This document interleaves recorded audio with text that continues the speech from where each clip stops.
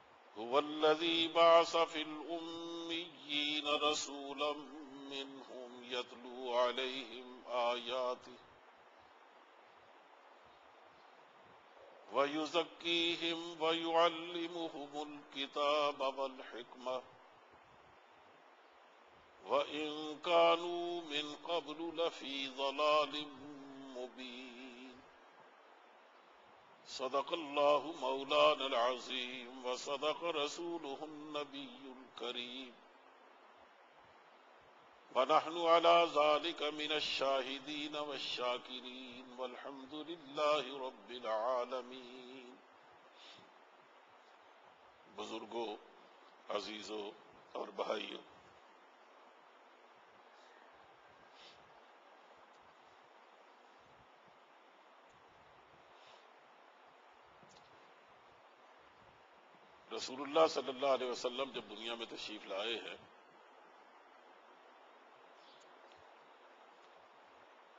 तो आपने जिस सतह से काम का आगाज़ किया है,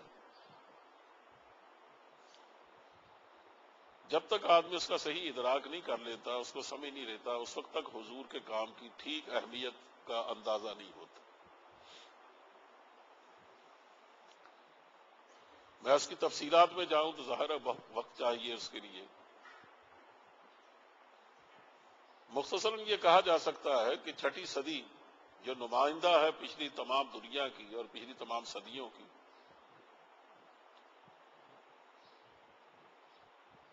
उसमें बिगाड़ हर सतह पर और दुनिया की हर कौम में और हर तबके पर और हर मुल्क में अपनी इंतहा को पहुँच चुका था।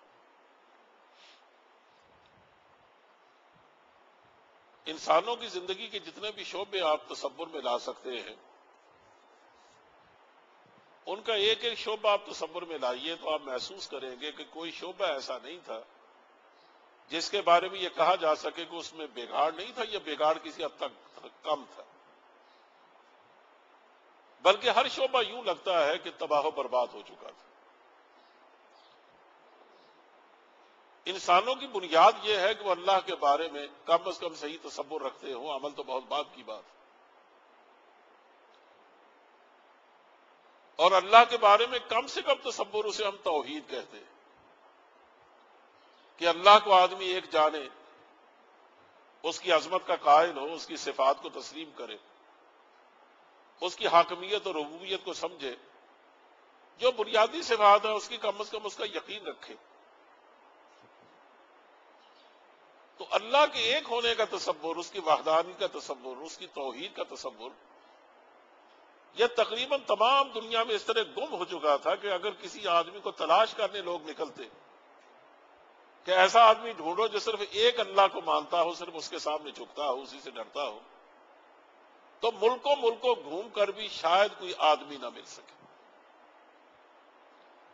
सलमान फारसी के बारे में कहा जाता है कि उन्होंने साढ़े तीन सौ साल उम्र पाई है। मैं यकीन से नहीं कहता कि यह बात कहाँ तक सही है, लेकिन आमतौर पर यह बात मशहूर है। इसलिए कि जब जब वो इस्लाम में आए हैं तो बड़े उम्र रसीदा आदमी थे। और मुसलमानों में भी उन्होंने लंबी उम्र पाई। और फिर अजीब बात यह कि वो सारे मजाहब को आजमा के देख चुके थे।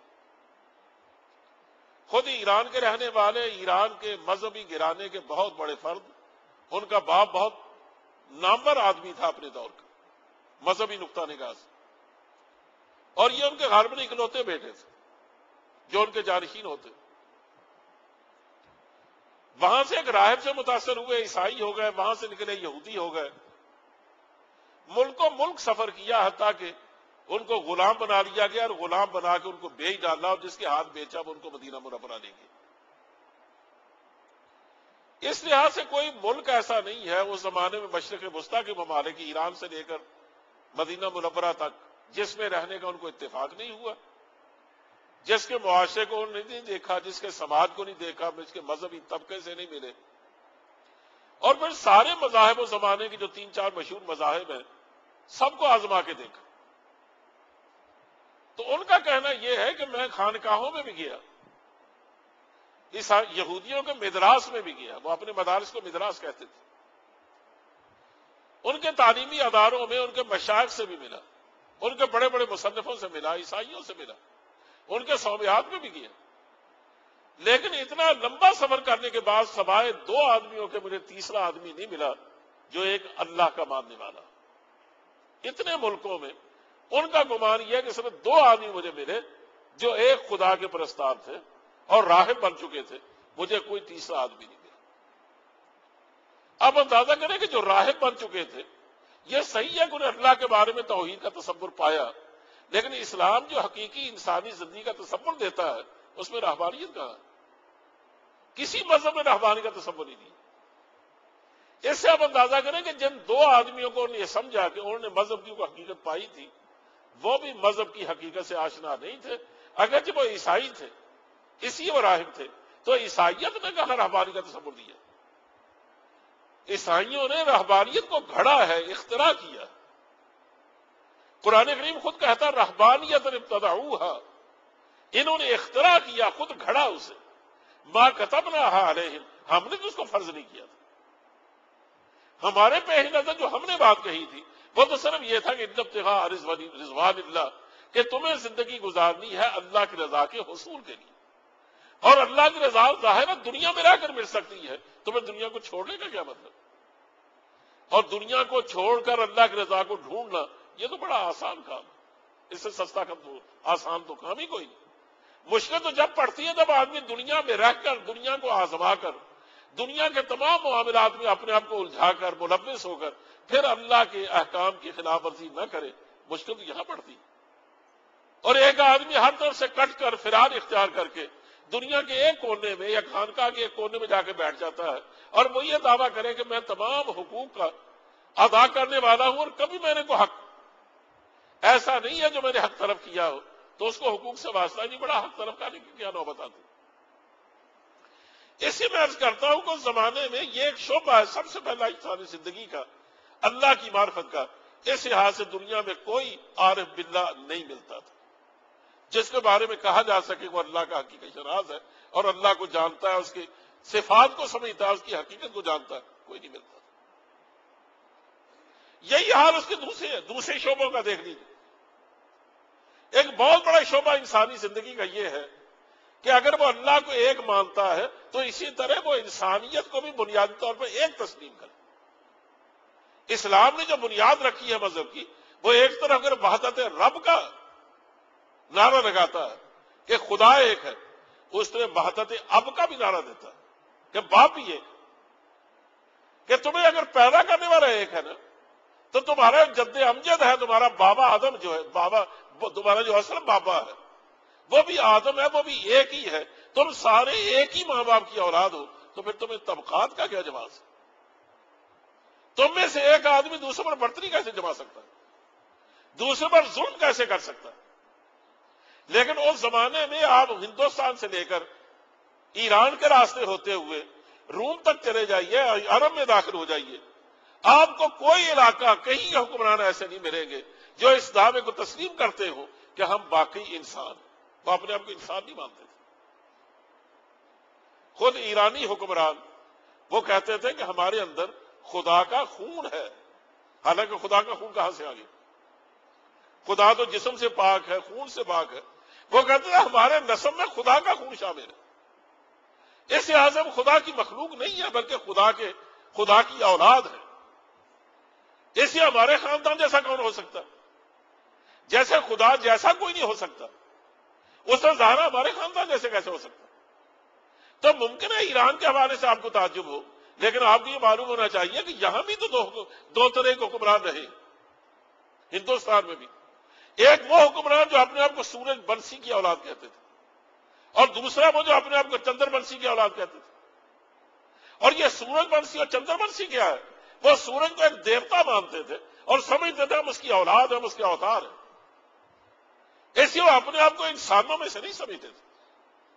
तो जब वो अपने आप को इंसान समझते नहीं तो इंसान के बराबर हुकूक कैसे तस्लीम करेंगे? इस सब मिस्र के जो हुक्मरान थे जितने फराइना मिस्र गुजरते गुजरे हैं मिस्र के हुक्मरान, जो अपने आप को रब कहते थे। तो रब कहने की वजह यह थी कि वो ये कहते थे कि हम असल में सूरज की औलाद सूर्य एक देवता है, जिसने हमारे अंदर ये असर किया कि हम उसके अवतार बन गए हैं। इस यहाँ से हम उसकी औलाद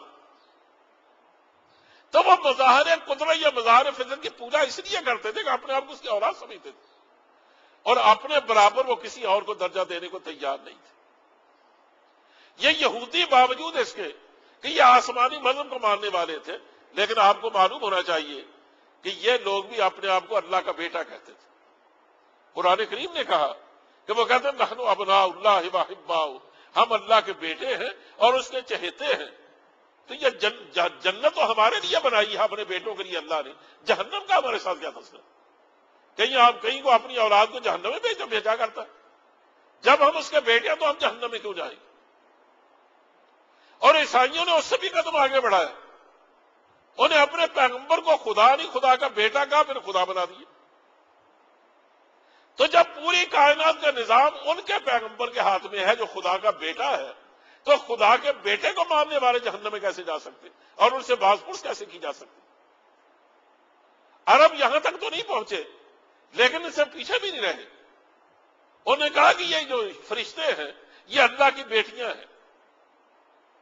ये बाकी तो नरीना औलाद है ना, उजैर, वो भी उनके बेटे ईसा भी उनके बेटे और न जाने कौन कौन से उनके बेटे हैं। लेकिन उनकी बेटियाँ जो है, वो सिर्फ़ फरिश्ते हैं। तो बाप और किसी की माने या ना माने, बेटियों की तो मानता तो हम इसलिए उसको पूछते हैं कि जब पकड़ दकड़ की नौबत आएगी, अब तो आएगी नहीं क्या को मानते नहीं थे वो। लेकिन अगर कभी आई भी तो ये बेटियाँ अपने बाप से जिद करके हमें छुड़ा लेगी। हमारा क्या बिगड़ सकता? तो जो लोग इस तरह के तस्वुरात अपने बारे में रखते हो, वो ज़ाहिर है कि अपने खास तौर पर, खास हुकूक की हमेशा वो दावत देते हैं और उसका दावा करते हैं कि हम दूसरों के बराबर नहीं ये अरब बावजूद इसके कि आप उनका कबीला जाने पहचाने थे और अपने जद्द अब्दुल इब्राहिम को मानते थे। लेकिन इसके बावजूद उनकी नखवत का, उनके तकबर का और बड़ाई का आलम यह था कि कुरैश जब हज करने जाते थे तो मुजदलफा से वापस आ जाते थे। वो अरफात में नहीं जाते थे। आप जानते हैं कि आज जब मुसलमान हज करने जाते हैं तो उनको बताया गया ये नबी करीम सल्लल्लाहु का इशाद है कि अल हज अरफा, हज तो है ही असल में अरफात की हाजिरी का नाम। जो आदमी अरफात में नहीं जाता, उसका हज नहीं होता। लेकिन वो लोग सिरे से अरफात में जाते ही नहीं थे। वो कहते थे, अरफात में वो जाए जो हमसे कम तर लोग। हम ठहरे अल्लाह के घर के मुजावर, उसके पुरोहित, उसके पुजारी। हम दूसरों के बराबर तो नहीं है ना। अगर हम भी अरफात जाके वापस आए तो फिर हम भी और दूसरे लोगों में क्या फ़र्क हो चुनाचे पहले बार ये रवैया इख्तियार की कुरैश ने, उसके बाद बनी के नाना ने। उसके बाद दूसरे तीसरे लोगों ने, जिन लोगों के रिश्ते उन खानदानों में हो चुके थे, और कराबतदारियाँ थी, या उनके हरीफाना ताल्लुक थे तो वो दावा करने लगते थे कि हम भी उन्हीं हकूक के मालिक हैं। इसलिए वो भी मुजलफा से वापस आ जाते थे। कहना यह है कि उस जमाने का इंसान, जिस तरह खुदा से बरगश्ता था, और उसकी जगह उसे न जाने कितने आस्थाने बना लिए थे, इसी तरह खुद इंसान की अपनी हैसियत, महल नज़र थी। कोई इंसानों की बहुत बड़ी तादाद, जो हुक्मरानों की तादाद थी, और हुक्मरान थे, वो अपने आप को बाकी इंसानों के बराबर नहीं समझते थे, बल्कि वो अपने, वो तख्त पर चढ़ के बैठते थे, बाकी उनके गुलामों की तरह हाथ बाँध के खड़े होते थे। इतना बड़ा फ़र्क पड़ गया था। और इसने फिर पूरी दुनिया को, पूरे हुकूक को, पूरी इंसानी ज़िंदगी को मुतासर किया था। अगर आप ये तस्लीम कर लें कि एक तबका बड़ा है, एक छोटा उसके हुकूक अलग है इसके हुकूक अलग। वो मखदूम है ये खादिम है वो आका है ये, ये उसका गुलाम है। तो आप इन दोनों को एक सतह पर लाने की हज़ार कोशिश करें कभी ला सकते हैं कभी नहीं ला सकते। चुनाचे इसी का था कि पहले का तो ये खबासत आई हुक्मरानों के दिमागों में। फिर होते होते बाद कौमों ने इसको इख्तियार किया। इसलिए बाद कौमें ये दावा लेके उठी कि हमारी जो कौम कौम है ये बाकी कौमों की नस्बत बरतर कौम ये हिटलर ने जो दुनिया को मरवाया था तो उसकी बुनियाद यही थी और बेवकूफ़ यही कहता था कि हिटलर कौम बाकी तमाम दुनिया से बरतर कौम दूसरी कोई कौम उस जैसी नहीं। इसे जर्मन बुनियादी तौर पर हुक्मरान पैदा हुए अंग्रेज़ को भी बाकी सारी दुनिया को इनकी चाकरी करनी चाहिए। गलत समझा गया हमें कि हम इनके बराबर हैं। उन्होंने उसने दावा किया कि मैं पूरी दुनिया को महकूम बना के छोड़ूँगा, इसलिए तुमसे गुलामी करवाऊँगा। उसका नतीजा हुआ कि दो धड़े बने बिलाखिर तो दुनिया तबाह होकर रह गई। यानी जिसमें दो करोड़ इंसान काम आ जाए, उसकी तबाही के बारे में क्या कहते हैं आप? तो यह पुराना, यह तरीका चल निकला था इंसान की तबाही का। उसी उसने हिटलर के दिमाग में असर किया था। मैं ये कह रहा हूँ कि नबी करीम सल्लल्लाहु अलैहि से पहले, यह वो खबासतें थी जो पैदा हो चुकी थी, बल्कि अपने पूरे उरूज तक पहुँच गई थी। और अगर हम इनसे नीचे छोटी बातों का को तलाश करें, यानी शर्म हया की बात करें, और लोगों के आम मामला लेन देन की बात करें तो उसमें तो मामला इस हद तक बिगड़ा हुआ है कि आप उसको देखते जाइए और हैरान होते जाइए, यानी जुल्म का वो कारोबार चल रहा था जिसकी इंतहाई कोई नहीं। रोम में और ईरान में भी, चूँकि ज़िंदगी खेल तमाशा बन चुकी थी संजीदगी उसमें नाम को नहीं रही थी। अल्लाह के सामने जवाब नहीं का तस्वर चूँकि मिट गया था। कि आमद आने का कोई यकीन नहीं था। ऐसे हर आदमी ज़िंदगी को खेल तमाशा समझता था और समझता जो कर सकते हो, इस ज़िंदगी में कर लो। फिर उसके बाद चूँकि ज़िंदगी है ही कोई नहीं तो मज़े लूटने से रह गए तो कब मज़े मिलेंगे वो जब बाबर के हवाले से बात कही जाती है ना, मुझे नहीं मालूम ये बाबर के हवाले जुमला क्यों मशहूर हो गया, क्योंकि मैं बाबर को इतना बुरा आदमी नहीं समझता। अलबत्ता उनके बारे में बात ज़रूर मशहूर है कि बाबर में ऐश कोश कि आलम दोबारा नेस्त कि बाबर ऐश कर लो, दूसरी दुनिया कोई नहीं। बाबर तो मुसलमान था। उसको आप बेअमल आदमी कह लीजिए, लेकिन यह तो नहीं कि वो क्यामत का मुनकर था। ऐसी उसकी तरफ़ इतनी बात बड़ी बात का इंतसाब यह कोई सही मालूम नहीं होता। अलबत्ता इन तमाम कौमों की तरफ़ इस जुमले का इंतसाब बिल्कुल सही है। तो चूँकि इन्हें खेल तमाशा समझा था दुनिया को, जैसे आज हम समझ रहे हैं यह बातें मैं इसलिए कह रहा हूँ कि मुमकिन आप ये दिमाग में सोचे कि इनमें से कौन सी बात नहीं है तो सब कुछ हमारे दायमा भी दिखाई देता कि अगर उस वक्त का इंसान अपनी ज़िंदगी के बारे में गैर संजीदा था तो हम संजीदा हैं। हमने जलजले में एक लाख से ज़्यादा आदमी मरवाए। और उसका नतीजा क्या है कि हमने जश्न बहारा मनाया।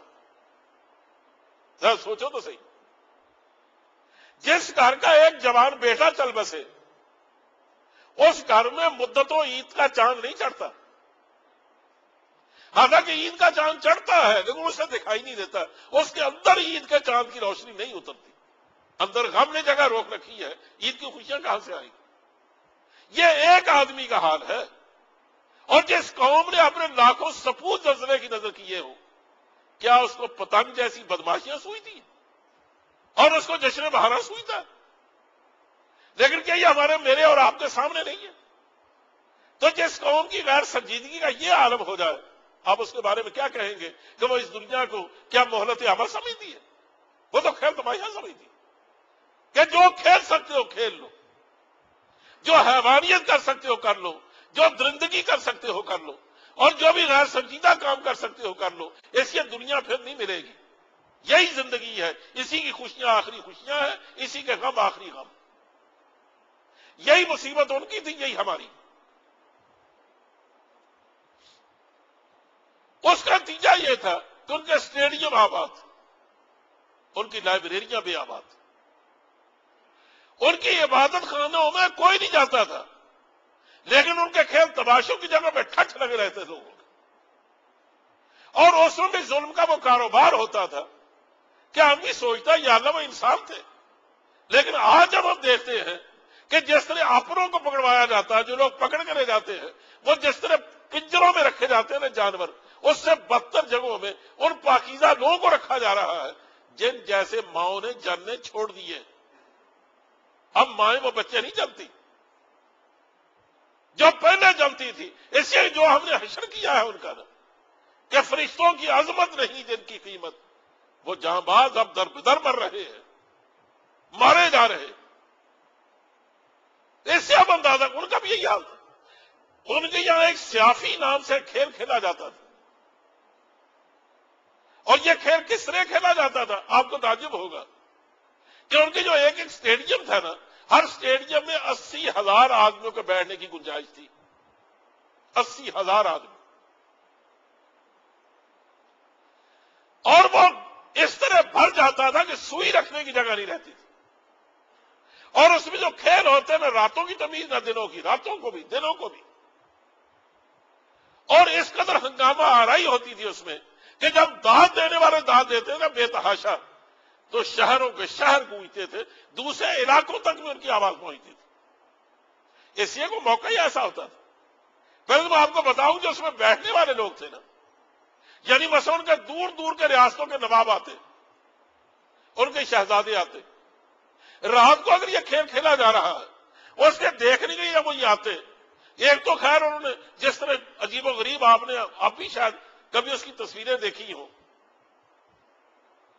कि फर वाले कोट, जिसके ऊपर बाकायदा ऊन ऊन उगी हुई नज़र आती वो आज भी मिलते हैं। और पुराने तो ज़्यादा उस तरह के कोट होते थे। वो बड़े बड़े कोट पहने हुए सर पर भी जैसे चीनियों की कभी आपने तस्वीरें देखी हो? और या तातारियों की। इस तरह को बड़े बड़े जुब्बे और बड़े बड़े कोट और बड़े बड़े टोपियाँ पहनकर वो आते थे।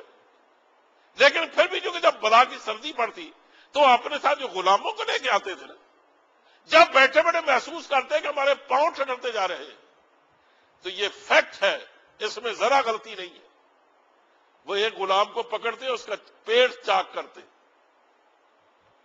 उसका पेट फाड़कर उसको ज़मीन पर गिराकर एक पाँव उसके पेट में रख देते फिर दूसरे गुलाम को चीरते दूसरा पाँव उसके पेट में रखते अब उसका अंतर का जो दिल है, उसकी जो उसकी जो अंतरियाँ हैं, उसका जो कलेजा है, वो जब भाप उगलता है निया मारा जाए ना जानवर, उससे एक भाप निकलती। आप कभी कुर्बानी के दिनों में देख लीजिए, आप जब खार उतारते उससे आप भाप उतर निकलती हुई देखेंगे।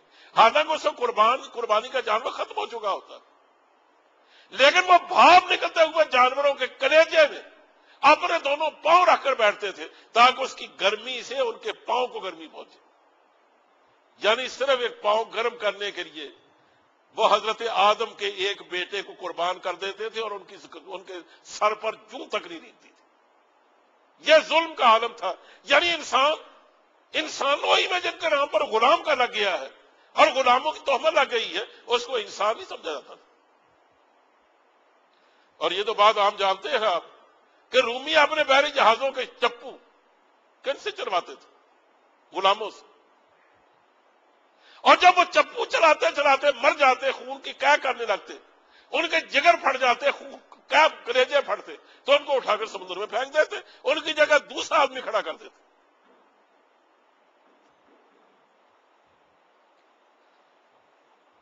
अब देखो, ये इस तरह के होते थे, ये बदमस्त जानवर उस खेल को देखने वाले। और खेल क्या होता था? कि कैदियों को निकाल कर आया जाता जेलों से। उधर पिंजरे पहुँचाया जाते उस मैदान में। और पिंजरे में होता कोई ना कोई शेर, कोई ना कोई चीता। उसको दो दिन फाका दिया जाता। उसके बाद इस कैदी को लाकर खड़ा कर दिया नहत्ता उसके सामने। और उसका जब पिंजरा खोला जाता तो दो दिन का फाके में मारा हुआ शेर, जब वो अपनी भूख से तंग आकर झपड़ता उस कैदी पर, और वो अपनी जान बचाने के लिए मुदाफत करता। और उसका जब एक पंजा पड़ता उसकी चीखें गूंजती। तो इनकी दादे इनके दाद दे, दाद देने के तरीके। उनकी आवाज़ें न जाने इसलिए बुलंद होती कि कहीं के मीलों तक सुनाई देती। यह माशरा उनका वो खेल था जो सियाफी के नाम से देखा जाता और खेला जाता था और इससे ज़्यादा मरहूब खेल उस जमाने में कोई नहीं था। इस पर वो मरते थे। और यह खेल को एक शहर में नहीं शहरों शहरों होते थे। इंतज़ार कीजिए कि जब लोग मज़हब से बेगाना होते हैं ना अल्लाह को भूलते हैं। उसके सामने जवाबदेही का तस्वर मर जाता है। और ज़िंदगी की संजीदगी रुखसत हो जाती और इंसान सिर्फ़ गाने बजाने वाला और खाने पीने वाला हैवान बनकर डंगर बन जाता है। फिर याद रखिए, ये चीज़ें उसके सबरात हैं, जो ज़ाहिर हुए बगैर नहीं रहते। अब हमें इंतज़ार करना चाहिए, कब हम इस दौर में दाखिल होते उससे पहले का दौर तो गुजर गया। यानी अगर हमने एक लाख इंसानों की कब्रों पर जश्न बहारा मनाया है और किसी को तकलीफ़ नहीं हुई, बल्कि खुशी हुई है। और आज जबकि हम देख रहे हैं कि क्या कुछ गुजर रही है यहाँ पर, और कराची में दो दफे कितने बड़े हादसे बीत गए। लेकिन कुर्बान जाइए, माशाल्लाह, अपने लोगों पर कि इन्हीं दिनों में मस्जिद अकबरी के सामने जिन्हें सुल्तान और अंगजेब आलमगीर ने जो मस्जिद बना मस्जिद बनाई, शाही मस्जिद उसके सामने जो हजूरी बाग है। उसमें बाकायदा जो लोग हिंदुस्तान से आए हुए थे, उनके सामने रंगो सरूद की महफिल जमाई गई, मौसीकी की महफिलें रचाई गई। उनको दिखाया गया है कि तुम तो खैर सिख थे ही, अब हम तुमसे बढ़कर सिख तुम जैसे नहीं समझते थे किसी बात को। यह हमारी यहाँ मशहूर है ना बात कि अंग्रेज़ काम करने से सौ साल पहले सोचता और हिंदू के बारे में मशहूर है को पचास साल पहले सोचता और मुसलमानों के बारे में लोगों ने यह कह रखा है कि वो इधर सोचता है, इधर कर लेता है। और सिख के बारे में मशहूर है कि ना वो पहले सोचता है, ना बाद में सोचता है। अब हम उनसे मुख्तलिफ़ नहीं। ये बात जो मैं आज कह रहा हूँ, मुझे इसका एहसास कई साल पहले हुआ था। मुझे याद पड़ता है कि मैं अपने एक अज़ीज़ के साथ इधर चौक नाखुदा की तरफ़ जा रहा था, रात के एक बजे, सर्दियों के दिन थे, एक टैक्सी में। तो जब हम शाहीबाज के करीब पहुँचे ना तो जो जो ड्राइवर टैक्सी चला रहा था, न जाने उसको क्या सूझी बेसार तो उसकी हँसी फूट गई। तो हमने पूछा, भाई, तुम्हें क्या हुआ? उन्होंने कहा, जनाब, यहाँ रात में यहाँ से गुजरा था, इसी वक्त, जैसे अब मैं जा रहा हूँ। तो यहाँ मुझे दो सिखों ने रोका। मैंने गाड़ी रोक ली तो गाड़ी रुकने के बाद उन्होंने कहा कि जनाब, हम एयरपोर्ट पर जाना चाहते हैं, आप हमें ले जाएँगे। मैंने कहा, बैठे, सब बिस्मिल्लाह, बैठो। क्या उनको बैठ गए। तो मैं उनको लेके चला। रास्ते में शरारत सूझी। क्योंकि हमारी यहाँ मशहूर है ना कि ये सरदार जी, हर सरदार जी के बारह बजते हैं यानी उसको बिल्कुल नींद पागल सा हो जाता। और ये वाक्य, खैर, मैंने तो सिख देखा ही जाकर सन इक्यावन में कि शायद तिरपन में। क्योंकि हमारे इलाके में सिख होता नहीं था। बचपन में पाकिस्तान बन गया। सुनते थे कि सिख को जानवर होता। है तो यहाँ उनकी टीम आई तो मैं अपने भाई के साथ सिख देखने की आया। मुझे नहीं शौक था टीम वीम क्या होती। मैं तो ये कहता हूँ, मैं सिख देखना चाहता हूँ कैसी कैसी चीज़ है। तो सिखों के बारे में लतीफे तो बहुत मशहूर है। लेकिन ऐसा लगता सारे गलत भी नहीं है। मैं उनमें से सिर्फ़ एक लतीफा आपको सुनाता हूँ, लतीफे का मौका तो नहीं है। आपको शायद याद हो कि जब मुल्क आज़ाद हुआ तो हिंदुस्तान का जो पहला वज़ीर दिफा था, वो सरदार बलदेव सिंह था, एक सिख। और हम उनका मुल्क का वज़ीर आज़म, आप जानते हैं, जवाहरलाल नेहरू था। जवाहरलाल नेहरू अपने दफ्तर में बैठा और उससे मिलने आया सरदार बलदेव तो वो सामने बैठा था। तो जवाहर में कहते हैं खुशतबी तो थी। उन्होंने खुशतबी करते हुए कहा कि सरदार जी, ये जो बात मशहूर है कि 12 बजे लोगों के सिखों के 12 बज जाते हैं और आपको न जाने क्या हो जाता है। ये क्या बात सही है? और उस इतफाक से बारह ही बज रहे थे। तो वो कहने लगे, नहीं, पंडित जी, ये लोगों ने खाम खा हमारे बारे में बातें मशहूर कर रखी हैं। भला ये भी तो बात है। जब हम वैसे ठीक ठाक लोग हैं तो बारह बजे आखिर हमें क्या होगा?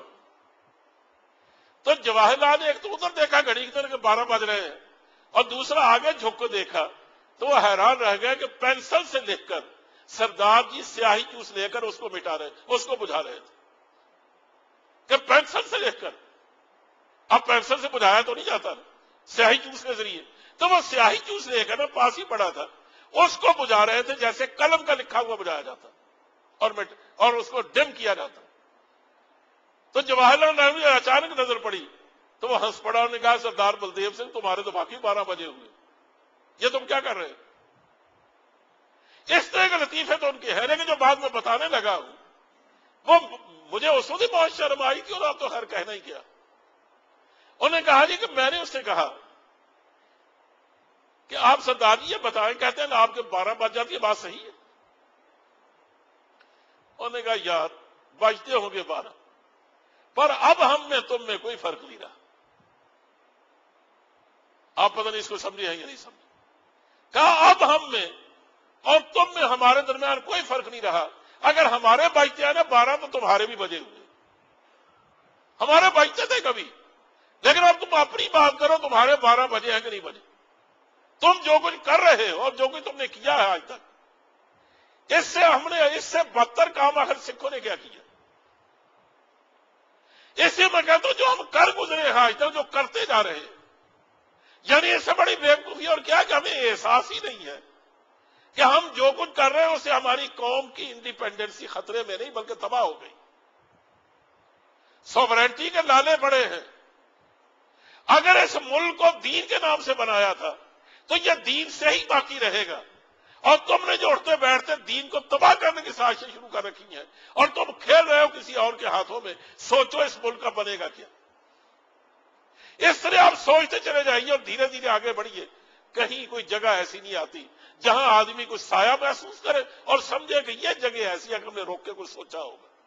जब हम सोचने से आरी हो गए हैं तो और सरदार जी किसे कहते तो इसलिए मैं कह रहा हूँ कि उस जमाने में इंसान का यही हाल था कि वो बिल्कुल भूल चुका था, गैर संजीदा हो गया था कि अल्लाह के सामने को जवाब देना।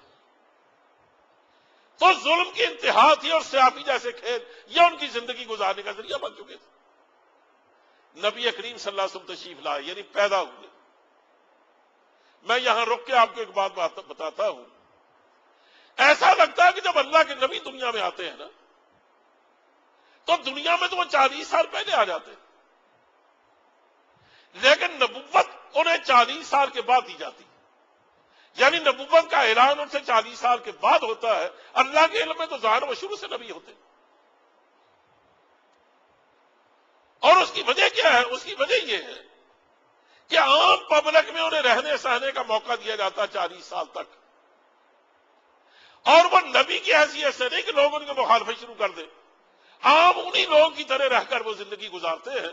लेकिन जितनी पाकिजा ज़िंदगी गुजारते हैं, यह ज़िंदगी उनके आने वाले दौर के लिए एक दलील बन जाती है। कि जब आप तो वो दलील खड़े होकर कहते हैं ना लोगों में अल्लाह का नबी हूँ। और लोग कहते हैं कि नहीं, गलत कहते हो। वो सिर्फ़ एक बात कहते हैं कि जब मैं अल्लाह का नबी होने का दावेदार नहीं था, और मैं तुम्हारी तरह एक आम अरब था या आम आदमी था, तुमने चालीस सालों में कभी मुझसे झूठ का तजुर्बा किया? किसी मरहले में लड़कपन में जवानी में आपके जो सर, सर पे चांदी उभर आई है तुमने कभी देखा है कि तजारत में मामलात में किसी हवाले से मैंने कभी झूठ बोला हो? और जब मैंने कभी झूठ नहीं बोला दुनिया में तुम्हारे सामने चालीस सालों में तो क्या अब मैं अल्लाह के मामले में अल्लाह के हवाले से तुम पर झूठ बोलूँगा? ईसाई हुक्मरान रोमा, उस वक्त की रोमा का जो हुक्मरान था, उसके सामने जब हजूर का खत पहुँचा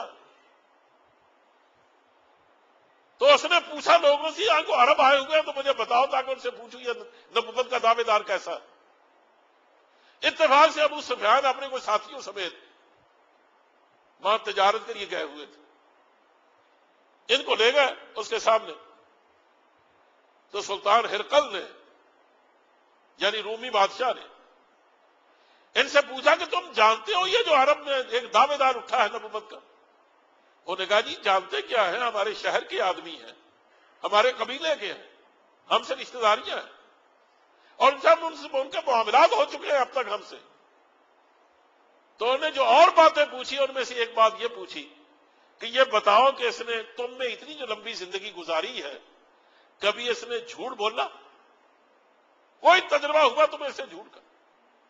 इसे जिसको भी तुम चालीस, पचास साल देखो, ये तो हो नहीं सकता ना, कभी झूठ बोले ही ना। तो तुमने कभी आज तक इनफरादी तौर पर, इज्तमाही तौर पर किसी मामले में तुम्हें तजर्बा हुआ कि उसने मामूली बात भी झूठ कही है? तो अबू सुफियान कहने लगे कि मेरा जी चाहा कि मैं ये कह दूँ कि हाँ, झूठ बोला लेकिन फिर मुझे शर्म आई कि जब मक्के वालों को पता चलेगा ना कि मैं एक झूठ बात कह के आया हूँ तो मेरी सरदारी पे हर्फ आएगा। मैं कभी सोचता हूँ कि वो अरब के बिगड़े हुए सरदार अपनी सरदारी का भरम रख रखने के लिए झूठ नहीं बोलते थे। अब आगे आप मेरे ख्याल इसको फिल कर लीजिए। कि हमारे हुक्मरान क्या करते और कुछ तो अपनी लाज रखने के लिए अपनी कौम के साथ झूठ ना बोलिए। उठते बैठते हमने गुर्बत का इलाज कर दिया खुदा ने कहा इलाज कर दिया। मुल्क की माली हालत बेहतर हो गई है कहाँ हो गई? मुल्क का वकार बढ़ गया है। किस उल्लुस्तान में बढ़ गया है? दुनिया की कोई आबादी ऐसी नहीं है जो हमें इज़्ज़त की निगाह से देखती हो। कहते मुल्क का वकार बढ़ गया। तो अब उस बयान कहते मुझे शर्म आई कि क्या मैं झूठ बोलूँगा इस आदमी के सामने? मैंने कहा, नहीं, उसने झूठ तो आज तक नहीं बोला। अलबत् अब हमसे एक मुआहिदा हुआ है। कहा, सिर्फ़ इतनी बात मैं कह सका कि अब हमसे एक मुआहिदा हुआ है। देखें उसको पूरा करता है या नहीं करता? तो कहता हिरकल ने कहा कि जिस आदमी ने कभी इंसानों पर झूठ नहीं बोला, वो अल्लाह पर झूठ नहीं बोल सकता। तो उसने अपने लोगों से कहा कि अल्लाह का सच्चा नबी मालूम होता है। मेरा ख्याल था मुल्क शाम में आएगा।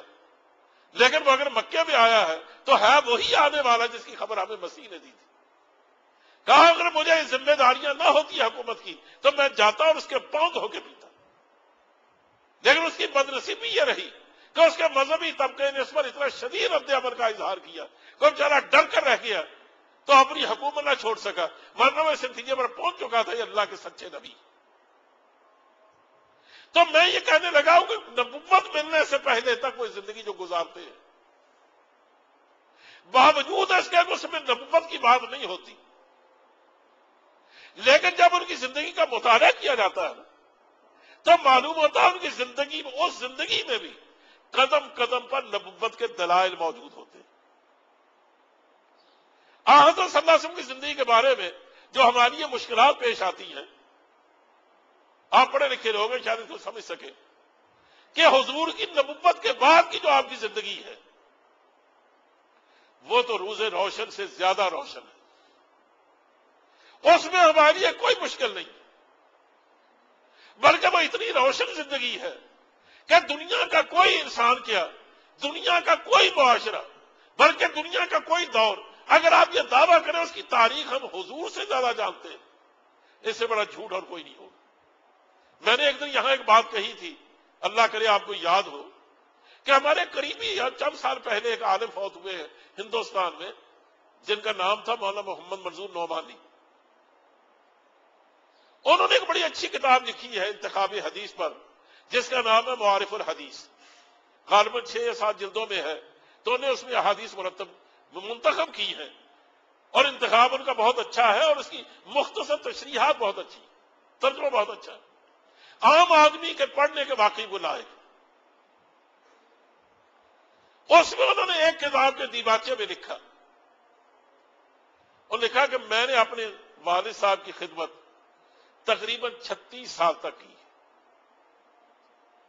और 36 साल वालिद साहब के शब रोज मेरे सामने गुजरे। और कोई उनकी ज़िंदगी का वाक्य ऐसा नहीं है काबिल ज़िक्र, जिससे मैं नावाकिफ कि जिसको आदमी छत्तीस साल अपने सामने देखे तो जाहिरों से आदमी नावाकिफ कैसे रह सकता? कहा, इसके बावजूद मैं ये बात कहता हूँ कि बहुत सारी उनकी शख्सियत की तहें ऐसी हैं जो खुल नहीं सकी। और हर हर प्राइवेट ज़िंदगी की। ऐसी तहें होती है शख्सियत की। इतनी पड़ते होती हैं हर आदमी की। वो खुलते खुलते भी नहीं खुलते। खुद आदमी नहीं खुलने देता। और बाद ऐसे मऊफ लम्हे होते हैं कि जिनकी उसे खुद भी खबर नहीं होती। ऐसे किसी आदमी के बारे में यह कहना कि मैं उसको बिल्कुल पूरी तरह जानता यह बड़ी मुश्किल बात है। लेकिन इसके बावजूद जिसको छत्तीस, सैंतीस साल देखा जाए, उससे आदमी बाखबर ही होगा, बेखबर तो नहीं हो सकता। लेकिन मौलाना कहते हैं कि बावजूद इसके कि मैंने अपने वालिद माजिद को इतने सालों तक करीब से देखा, उनकी खिदमत की, लेकिन इसके बावजूद मैं ये कहता हूँ